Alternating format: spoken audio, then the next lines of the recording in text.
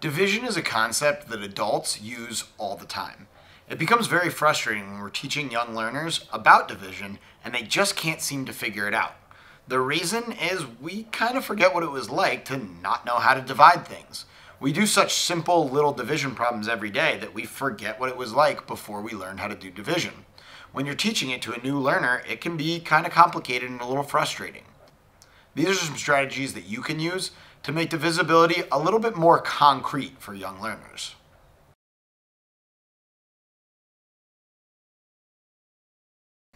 One is easy. Every number is divisible by one. When we divide any number by one, we get that same number. Let's take 24 for instance. 24 divided by 1 equals 24. Imagine taking 24 objects and putting them into one box. How many objects are in that box? All 24 are in that one box. Any number divided by 1 equals the original number. The strategy for 2 is also pretty simple. Any even number is divisible by 2. 3 is next, and this is where the strategies start to get a little bit more complex. The strategy for 3 is adding up all the digits in the number, and if your sum of all of those digits is divisible by 3 itself, then the number is divisible by 3. Let's take a look at that before we write it down. Let's use the number 33. We want to find out if 33 is divisible by 3.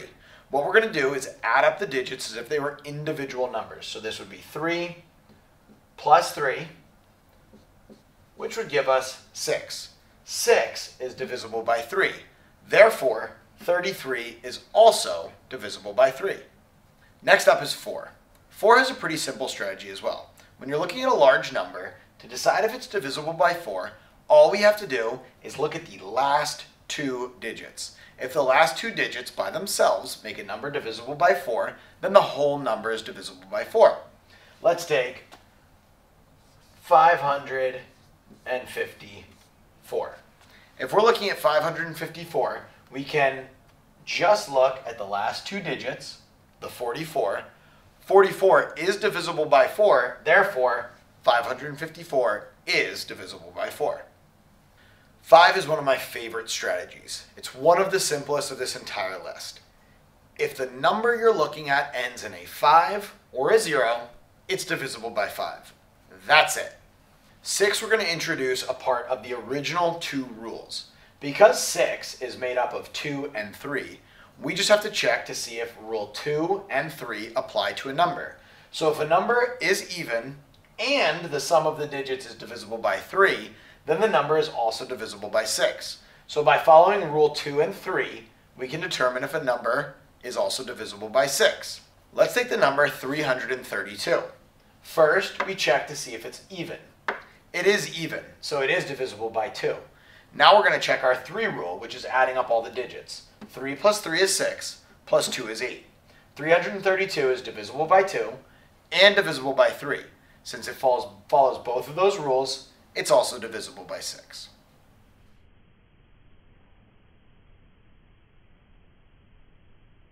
There are divisibility strategies for 7 and 8, but they're so difficult, they tend to be more of a hindrance than a help.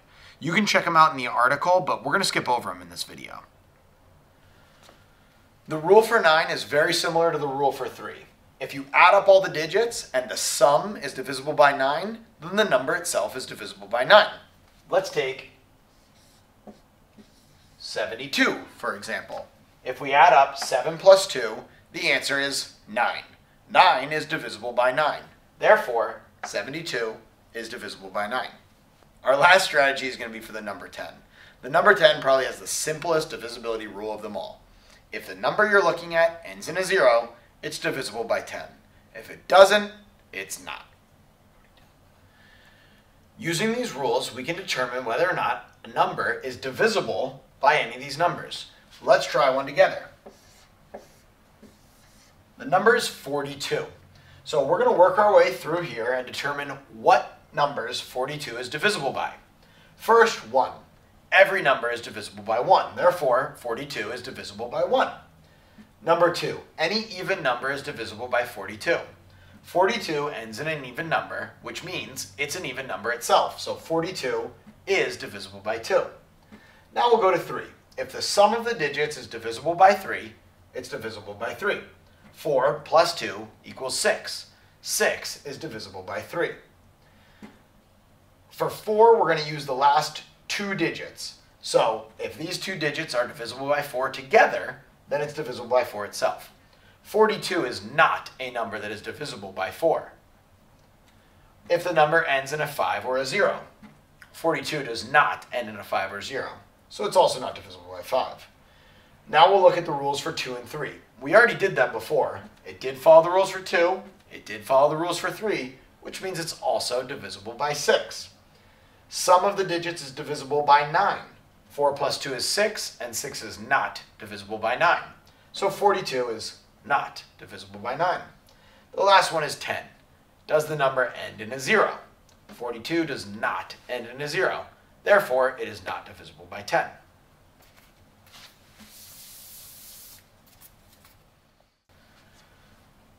Let's run through another example with the number 70. 1, every number is divisible by 1. Is it even? Yes, 70 is even, so it's divisible by 2. Is the sum of the digits divisible by 3? 7 plus 0 is 7. 7 is not divisible by 3, therefore it is not divisible by 3. Uh, using the last two digits, 70, 7 and 0, are not, is not divisible by 4, so the whole number is not divisible by 4. Number 5, does the number end in 5 or 0? It does end in a 0, so it is divisible by 5. It did not follow the rules for 2 and 3, remember? It was not divisible by 3, so it can't be divisible by 6. The sum of the digits divisible by 9, 7 plus 0, is 7, not divisible by 9 and 10. Does it end in a 0? Absolutely ends in a 0, meaning it is divisible by 10. These strategies can be a great way to get start, students started on division, especially when it comes to things like fractions, finding common denominators, and finding equivalent fractions. Be the first! Grab a special discount for the new Learn Like Nastya educational app. Visit learnlikenastya.com or scan the QR code for more information.